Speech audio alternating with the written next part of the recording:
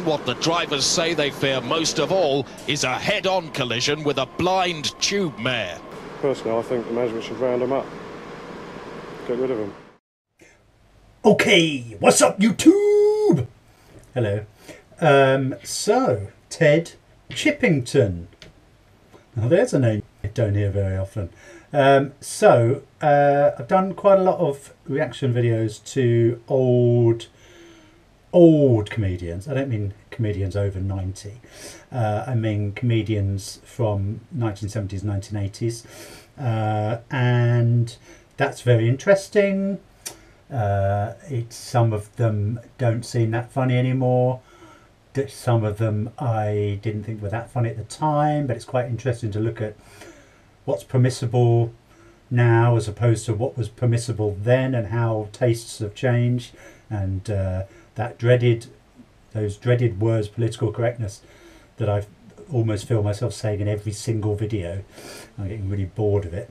Um, so yeah, so we're doing uh, my phone's ringing uh, and that's annoying. I don't know who it is, so I'm going to ignore them.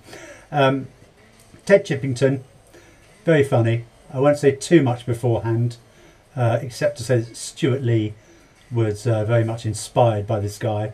In fact, there's a whole little documentary about it on uh, you can get on YouTube um, where he's talking about Ted and he meets Ted. Uh, but uh, this is a very short clip of the fabulous Ted Chippington.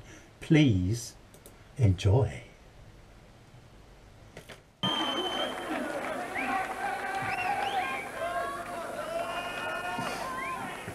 Hello again. How'd you do, mate? All right. Thank you. Anyway, I'll tell you a joke. You're coming in down here tonight for some top entertainment? Well, here's the top entertainment joke. Walking down this road the other day, this uh, bloke comes up to me, he said, I've just got back from Nam. I said, what do you mean, mate? Vietnam? He said, no, Cheltenham. He had a good time there, he did. Spent the weekend he did there. He had a good time. Anyway, Bob Monkhouse, there's a man, eh? He's a good bloke, Bob. I've learnt this one off him, I've make a joke out of anything I can. Anyone got a topic they want to hear a joke about? You what? Shoes? Okay. I was walking down the road the other day, I had my shoes on, this bloke comes up to me, he said, uh, tell how far the railway station's away from here, mate. I said, uh, one mile. He said, one mile? I said, ah, one mile, roughly speaking. Couldn't be too sure, you know. You didn't find that funny then? Well, I do. Thank you. Got a good haircut you have, mate. Anyway, I had, had my haircut the other day, walked down the barber's shop, said to the bloke, cut me hair around the back, mate. He said, well, what's wrong with this room? Anyway, walking down this road the other day, mate of mine comes up to me, he said, long time no see, Ted. I said, oh, I haven't been on holiday for a long time. Okay, there he is. Uh, there's not a lot of him on on uh, video, uh, which is a shame. Uh, so the story of Ted is that he wasn't a comedian at all. He was just brought on to introduce bands at gigs, and of course, fans at gigs who are seeing bands at gigs aren't very interesting comedians.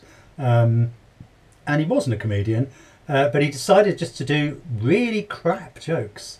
Uh, which really went down badly. And it's just his delivery, the fact that he, he's not fazed by it, he doesn't care, uh, nobody laughs. Um, a few people laughed actually, amazingly, towards the end. Uh, and uh, what a guy! Uh, he's brilliant. check out if you can find more stuff that he's done. He's excellent. Thank you very much, and um, see you next time. And in a statement issued just 10 minutes ago, the Home Secretary announced that he personally will be going into the tunnels this weekend armed with a special gun.